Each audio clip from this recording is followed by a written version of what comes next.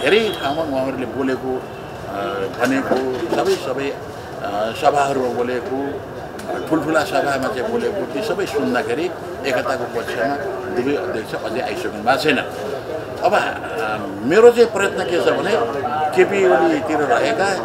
Second जेनेरेसनका कामरेडहरू र प्र प्रचण्डतिर रहेका सेकेन्ड जेनेरेसनका कामरेडहरूलाई एकताबद्ध गर्ने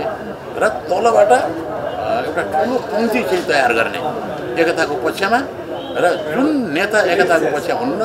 उहाँलाई भोट नदिने यो अभियान अब हामीले चलाउँदैछौँ र चारैतिरबाट चाहिँ दुईवटा नेताहरूलाई घेराबन्दी गर्न सकियो भने एकता गर्न सकिएला अब अहिले पहिलो एकता केपी र प्रचण्डको बिचकै एकतालाई हो हामीले मान्ने त्यो अरूले एकता गर्दैमा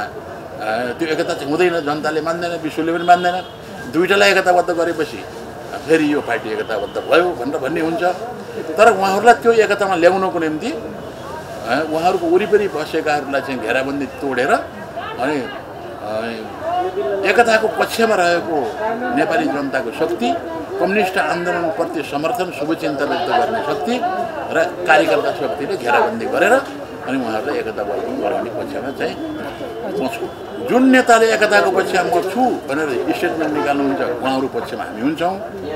जुन नेताले एकताको पक्षमा छु भनेर चाहिँ भन्नुहुन्न एकताको निम्ति प्रयत्न गर्नुहुन्न उहाँको पक्षमा हामी जान सक्दैनौँ। म